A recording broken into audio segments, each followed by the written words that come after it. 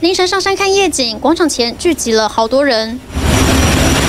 不过一转眼，冤金已经抵达现场开单，因为这地方其实是管制区域。四号凌晨一点多，在桃园卢竹福山宫前的广场，多达二十三人半夜不睡觉，跑出门看夜景，就是担心大家群聚。疫情期间，有好多景点都选择暂时关闭，但其实各地的罚款金额也不尽相同，最多竟然差了二十倍。上个月底，有民众跑进花莲的沙坡荡溪，一个人自在的游泳，闯入管制区域，最高开罚一万五千元。不过，在台中的北屯，男子晚上偷偷跑到大坑三号步道，最高恐怕会挨罚三十万元。另外两起案例都在新北，到金山户外泡脚池，跟到平溪灰窑瀑布玩水，罚款的金额也差很大。同样都是以传染病防治法开罚，但罚款的金额却大不相同。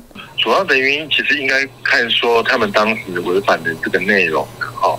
然后依照那个呃减负的市政，然后来做后续的一个处理。那当然，他如果有列入这个公告不得进入，那就是依他公告内容的这一个呃条款来做裁处。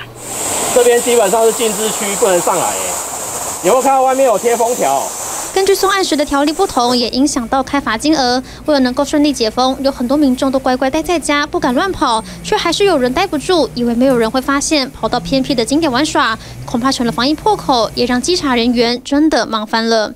TVB 新闻综合报道，请大家订阅、按赞、分享 TVBS News 频道，并且开启小铃铛，也请用手机下载 TVBS 新闻 APP，让您随时掌握国内大小事。